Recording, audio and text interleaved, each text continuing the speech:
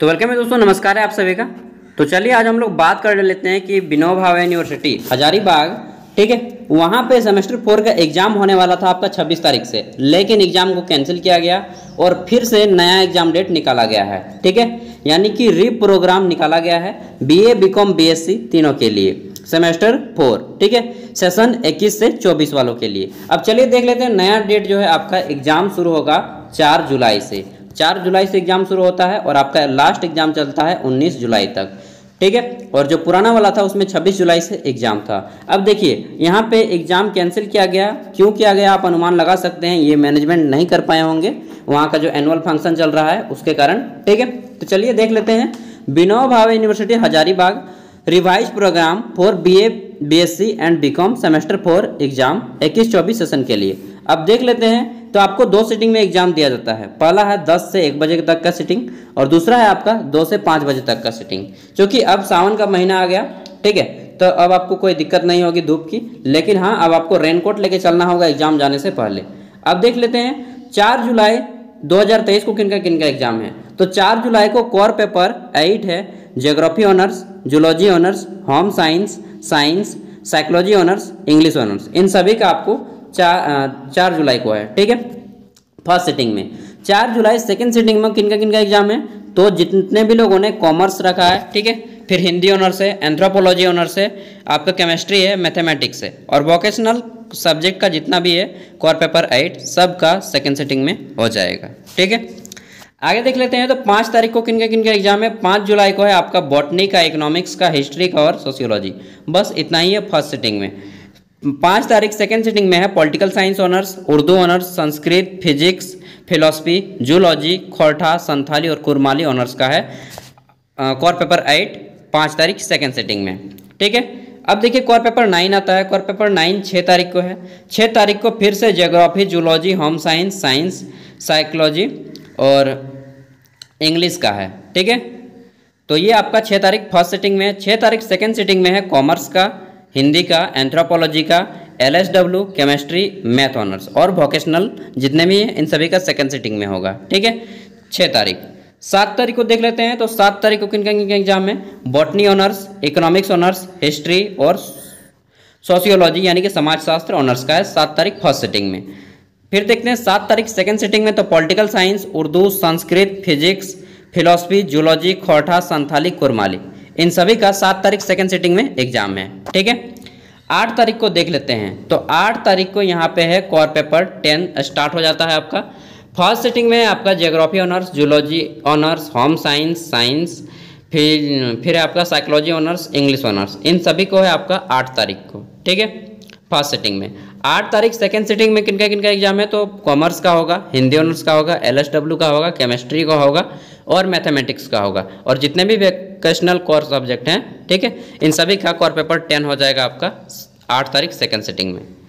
उसके बाद देखिए, दस तारीख को किन का किन का एग्ज़ाम है? तो दस तारीख को आपका बॉटनी ऑनर्स इकोनॉमिक्स हिस्ट्री और सोशियोलॉजी ऑनर्स का दस तारीख फ़र्स्ट सेटिंग में होगा, ठीक है? दस तारीख सेकेंड सेटिंग में political science Urdu, Sanskrit physics philosophy zoology Khortha, Santhali, Kurmali honours का होगा, ठीक है?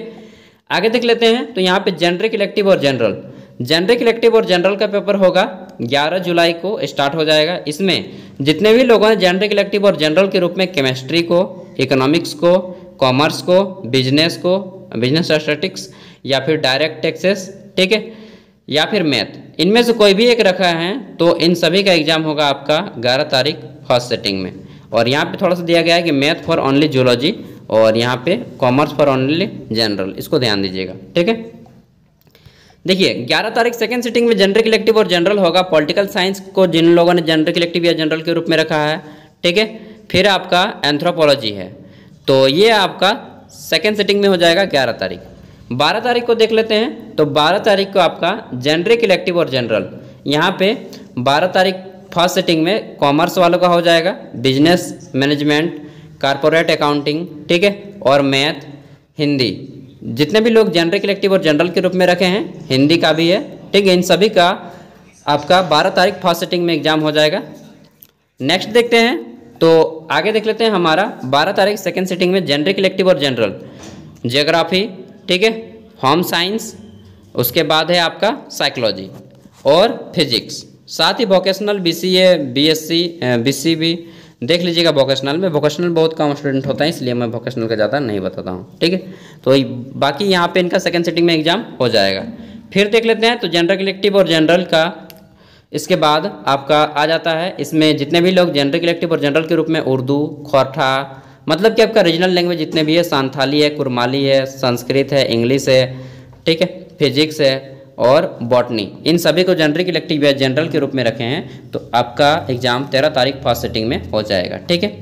तेरह तारीख सेकेंड सिटिंग में जनरल इलेक्टिव और जनरल के रूप में जिन्होंने बॉटनी को रखा है एंथ्रोपोलॉजी को रखा है एमआईएल हिंदी को रखा है, ठीक है? फिलोसफी को रखा है, या फिर जूलॉजी को रखे हैं, और कॉमर्स में computer application in business and tally principle of insurance Indian economy अगर आपने रखा है तो आप सभी का एग्ज़ाम तेरह तारीख सेकेंड सिटिंग को होगा, ठीक है? आगे देख लेते हैं तो जनरल कलेक्टिव और जनरल के एग्ज़ाम लास्ट टाइम आपका चौदह तारीख तक ही चलेगा, ठीक है? इसमें आप जितने भी लोग फ़र्स्ट सेटिंग में कॉमर्स में जनरल कलेक्टिव और जनरल के रूप में computer application in business and tally principle insurance Indian economy ठीक है? एंड सोशियोलॉजी जनरल कलेक्टिव या जनरल है तो आपका एग्ज़ाम चौदह तारीख फ़र्स्ट सेटिंग में होगा, ठीक है? चौदह तारीख सेकेंड सिटिंग में होगा जूलॉजी ऑनर्स उसके बाद है आपका जियोलॉजी और आपका geology general collective general, history general collective और जनरल जितने भी लोग रखे हैं, काफ़ी बच्चे रखते हैं तो उनका देखिएगा, चौदह तारीख सेकेंड सिटिंग में होगा, ठीक है? अब देख लेते हैं, यहाँ पे आपका सेक पेपर स्टार्ट हो जाता है। तो सेक पेपर आपका डेढ़ घंटे का होगा। फ़र्स्ट सिटिंग में दस से साढ़े ग्यारह के बीच में एग्ज़ाम होगा। सेकेंड सिटिंग में साढ़े बारह से लेकर के दो बजे के बीच में एग्ज़ाम होगा। और सेक पेपर में आपको घूमने का दिन होता है यार। लास्ट दिन जब एग्ज़ाम होता है सेक पेपर घूम लीजिए। आराम से घूमिए नाश्ता वास्ता कीजिए, जो भी आपको खाने के माने खा लीजिए और दोस्तों के साथ घूम के आ जाइए, ठीक है? क्योंकि ये समय जो है थोड़ा सा घूमने का भी है। तो देखिए, पंद्रह तारीख जो है आपका, पंद्रह जुलाई से स्टार्ट हो जाता है। सेक पेपर जिन्होंने, एंटरप्रेन्योरशिप डेवलपमेंट रखा है, only for following core subject. तो एंटरप्रेन्योरशिप डेवलपमेंट अगर आपका ऑनर्स इकोनॉमिक्स है और आपने रखा है हिंदी है फिलोसफी है जोग्राफी है संस्कृत है उर्दू सोशियोलॉजी एंथ्रोपोलॉजी है और अगर आपने सेक में एंटरप्रेन्योरशिप डेवलपमेंट को सिलेक्ट किया है तब आपका एग्ज़ाम पंद्रह तारीख फ़र्स्ट सेटिंग में होगा। वहीं अगर आपने एंटरप्रेन्योरशिप डेवलपमेंट है आ, को सिलेक्ट किया है और अगर आपका वोकेशनल कोर है ठीक है तो आपका एग्ज़ाम सेकेंड सिटिंग में हो जाएगा पंद्रह तारीख। साथ ही entrepreneurship development for biotechnology only इनका भी एग्ज़ाम सेकेंड सिटिंग में होगा, पंद्रह तारीख। आगे देखते हैं तो एंटरप्रेन्योरशिप डेवलपमेंट में जिन लोगों ने बंगाली पॉलिटिकल साइंस जिनका ऑनर्स बंगाली है या फिर पॉलिटिकल साइंस है, आपका रीजनल लैंग्वेज जिसमें सभी आ जाते हैं, खोठा, संथाली वगैरह, ठीक है? कुरमाली वगैरह मैथ है या फिर साइकोलॉजी है हिस्ट्री है इंग्लिश है तो अगर आपने ये ऑनर्स है और इंटरप्रेन्योरशिप डेवलपमेंट सेलेक्ट किया है सत्तर तारीख को एग्ज़ाम होगा फ़र्स्ट सेटिंग में। सत्तर तारीख सेकंड सेटिंग में एग्ज़ाम हो जाएगा Indian history culture and diversity ठीक है? तो काफ़ी ज़्यादा लोग Indian history and culture diversity को सिलेक्ट करते हैं। इसमें अगर आपका सब्जेक्ट इकोनॉमिक्स ऑनर्स है हिंदी ऑनर्स है जोग्राफी ऑनर्स है संस्कृत ऑनर्स है उर्दू एंथ्रोपोलॉजी ऑनर्स है या फिर वोकेशनल सब्जेक्ट है जर्नलिज्म तो आपका एग्ज़ाम सत्रह तारीख सेकेंड सेटिंग में होगा Indian history culture and diversity का। ठीक है? और इंडियन हिस्ट्री कल्चर डाइवर्सिटी के बहुत सारे क्वेश्चन पेपर हमने अपलोड कर रखे हैं और आपके इंपॉर्टेंट क्वेश्चन भी अपलोड कर रखे हैं। सभी के अपलोड कर रखे हैं, लेकिन इंडियन हिस्ट्री कल्चर के बहुत ज़्यादा मात्रा में अपलोड किए हैं। सेक पेपर में इंडियन हिस्ट्री कल्चर डाइवर्सिटी उन लोगों का होगा अठारह तारीख फ़र्स्ट सिटिंग में, जिनका ऑनर्स पॉलिटिकल साइंस है, या फिर रीजनल लैंग्वेज है, या फिर साइकोलॉजी है इंग्लिश है, ठीक है? इन सभी का एग्ज़ाम या फिर म्यूज़िक है तो अठारह तारीख फ़र्स्ट सिटिंग में होगा। अठारह तारीख सेकंड सिटिंग में SEC Indian history culture and diversity का पेपर होगा। अगर आपका सब्जेक्ट हिस्ट्री ऑनर्स है सोशियोलॉजी ऑनर्स है मैथमेटिक्स है फिलोसफी है, ठीक है? तो इनका एग्ज़ाम आपका अठारह तारीख फ़र्स्ट सेटिंग में सेकेंड सेटिंग में हो जाएगा। सेक में life skill and personality development का पेपर होगा, ठीक है? सेक अठारह तारीख सेकेंड सेटिंग में। यार, भूख लग गया काफ़ी ज़ोर से। फिर देखते हैं तो सेक बैंकिंग एंड फाइनेंस अगर आप रखे हैं आर्ट्स साइंस और कॉमर्स, सभी के लिए अठारह तारीख सेकंड सिटिंग में एग्ज़ाम हो जाएगा। आगे देखते हैं तो सेक बिल्डिंग मैथमेटिकल एबिलिटी ठीक है? तो अगर आपने ये सेलेक्ट किया है या फिर H R D human resource development select किया है तो आपका एग्ज़ाम अठा, उन्नीस तारीख फ़र्स्ट सिटिंग में होगा, चाहे आप कुछ भी ऑनर्स हो, ठीक है?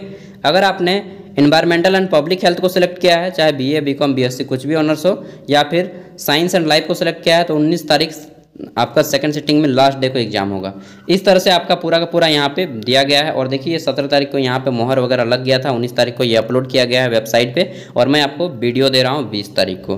अगर आपका कोई दोस्त हो, दोस्तों तो प्लीज़ उन तक वीडियो को शेयर कीजिएगा। पीडीएफ का लिंक ये जो आप देख रहे हैं प्रोग्राम पूरा का पूरा रूटीन इसका पीडीएफ का लिंक वीडियो का डिस्क्रिप्शन में मिल जाएगा, वहाँ से डाउनलोड कर लीजिएगा। और आपके जितने भी क्वेश्चन है core paper eight nine ten general elective sex सभी के मैं सभी के पेपर मैं चैनल पे अपलोड कर दिया हूँ, ठीक है? क्वेश्चन पेपर विनोद भावे यूनिवर्सिटी हो, चाहे झारखंड की कोई भी यूनिवर्सिटी हो, यार सभी के मैं इतना बड़ा मतलब जितना भी है ना, मैं विशेष रूप से ग्रेजुएशन के बच्चे को टारगेट किया हूँ, उनकी हेल्प हो जाए, ठीक है? और आपके previous year question paper important question और सिलेबस ये तीन चीज़ देख लीजिए डेफिनेटली आपका exam seventy percent plus marks आएगा, जैसा कि मेरा आया था ग्रेजुएशन में, मैंने अच्छे से फॉलो किया था और आपको भी मैं उसी टाइप ट्रैक पे ले जाऊँगा, ठीक है? तो मिलते हैं अगले वीडियो में। चाहे आप बीए पढ़ते हो बीकॉम या B S C previous year question सबसे इंपॉर्टेंट होता है, ठीक है? क्योंकि वहीं से 40 परसेंट क्वेश्चन भिड़ते हैं, ठीक है? 40 टू 60 परसेंट मिनिमम 40 परसेंट भिड़ता ही भिड़ता है। तो मिलते हैं दोस्तों अगले वीडियो में, तब तक के लिए बाय और मैं देते रहूँगा, ठीक है? Thank you for watching this video bye bye कुछ भी डाउट हो तो कमेंट करके पूछ लेना कि भैया, मुझे ये डाउट है, यार दोस्त सर नहीं बोलना यार, ठीक है? बाय